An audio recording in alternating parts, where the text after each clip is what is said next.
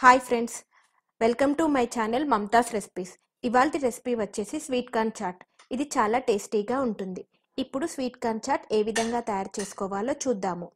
ఇప్పుడు స్టవ్ మీద బౌల్ పెట్టుకొని అందులో వాటర్ని పోసుకొని వాటర్ బాయిల్ అయ్యాక అందులో కొద్దిగా సాల్ట్ అలాగే ఒక కప్పు స్వీట్ కార్న్ని యాడ్ చేసుకోవాలి. ఈ విధంగా యాడ్ చేసుకొని ఐదు నుంచి పది నిమిషాల పాటు మీడియం ఫ్లేమ్లో ఉడికించుకోవాలి. స్వీట్ కార్న్ తొందరగా ఉడుకుతుంది.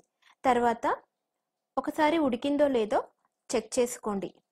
ఈ విధంగా ఉడికిన తర్వాత ఒక స్ట్రైనర్ తీసుకొని ఎక్స్ట్రా వాటర్ని తీసేసి ఒక బౌల్లోకి తీసుకోండి. ఇప్పుడు ఇందులో సన్నగా కట్ చేసి పెట్టుకున్న ఉల్లిపాయ ముక్కలు అలాగే సన్నగా కట్ చేసి పెట్టుకున్న టమాటో ముక్కలు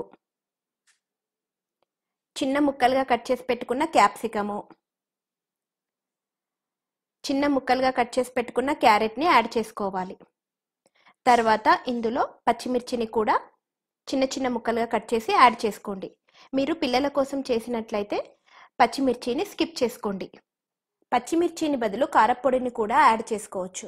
తర్వాత ఇందులో హాఫ్ టేబుల్ స్పూన్ మిరియాల పొడి half tablespoon chaat masala powder అలాగే రుచికి సరిపడేంత సాల్ట్ని యాడ్ చేసుకోవాలి.